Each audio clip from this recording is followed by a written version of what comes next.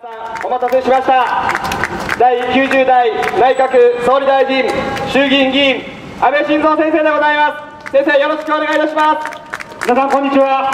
安倍晋三でございます。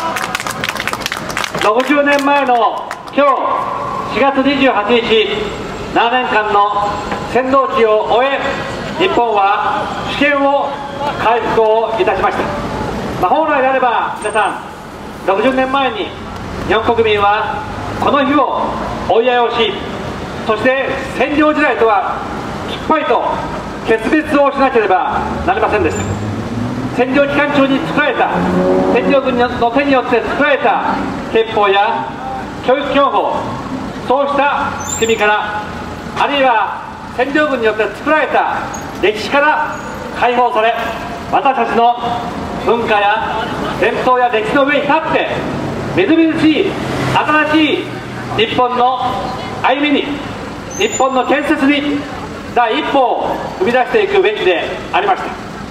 そうしてこなかったことに今日のさまざまな問題があるわけであります。民主党政権ができていろんな問題が起こりました。例えばその問題の一つが外交問題安全保障の問題であります。今橋本岳さんからお話があったように尖閣諸島大変今危ない状況になっています。我が国の間違いなく固有の領土でありそして私たちは今実効支配をしています。しかし中国は経済成長を続けていかなければ共産党の一党支配体制がなかなか難しいこの中で彼らは成長していくためのエネルギーを必要としている。それは海の下に眠っている支援であります。彼らはある意味においては本気でこの尖閣に挑戦をしていると言っていい。それが証拠に彼らは尖閣を革新的利益がある。こう否定しました。彼らが地理的に革新的利益があると言っているのはチベットやウイグルやあるいは台湾であります。この革新的利益とは何か。といえば3つのことを定義しています。一つは中国の国の体制共産主義の共産党の一党支配社会主義体制に関わること。もう一つは国の領土領海であります。そしてもう一つが継続的な経済成長に関わること。こうした革新的利益においては外国から何と言われようとも1ミリたいとも譲歩しないというのが彼らの姿勢であります。この島を守るために何が必要でしょうか。それはまず何といっても日米の同盟であります。日米同盟によってもしこの尖閣に手を出せば世界最強の米国ともことを構えることになる。これが抑止力になっていきます。しかし皆さん今例えば野田さんがオバマ大統領に電話をしてどうやら中国がこの尖閣に上陸をしたようだからアメリカの兵隊を送ってください。こう言って果たしてアメリカ兵はやってくるか。やっていきません。何が必要でしょうか。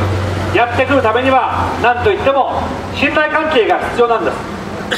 彼らがこの島にやってきて日本の島を守るということはアメリカの若い兵士が日本のために命を懸けるということに他ならないんです。信頼を持てない友人のために命を懸ける。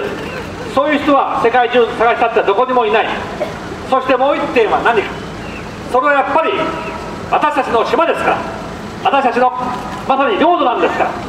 美しい領海なんですから。まずは私たちがこの地域のために命を懸ける。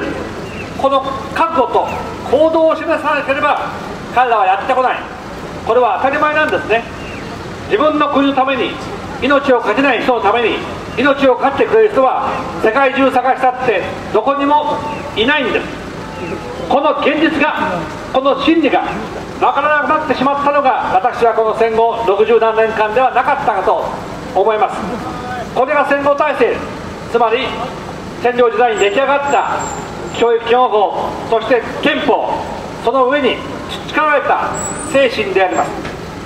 教育基本法においては安倍政権において全面的に改正を行いました。教育の目標にしっかりと道徳心を培うということを書いた。そして郷土愛愛国心を書いた。そしてまた家族の意味についても書いたんです。学校において日本というこの国を貶められていたら日本のために尽くそうとは思いませんそして日本人のアイデンティティが汚されていたら自分自身に自尊心を持つことはできないんです。だからこそ私たちは教育基本法を変えましたしかし民主党政権ができてこの3年間残念ながら教育の場でこの新しい教育基本法の精神は生かされているとは言えないんです。教科書の検定においても採択においてもそうです。だからこそ私たちは民主党政権を倒さなければいけない。学びを決して今戦いを挑んでいる時代であります。一日今の政権が続いていくことは一日我が国の国益が失われていくことにつながります。一日今の政権が続いていくことは一日子どもたちの未来が失われていくんです。私たちはなんとかこの国会で解散総選挙に追い込んで誇りある国美しい国日本を取り戻したいと思います。どうぞ皆様よろしくお願い申し上げます。ありがとうございました。この前を憲法改正しようでありがとうございます。朝方の上には今演説をした橋本岳さんそして山下さん素晴らしい候補がいます。どうぞ皆様よろしくお願いします。どうもありがとうございました安倍先生ありがとうございました。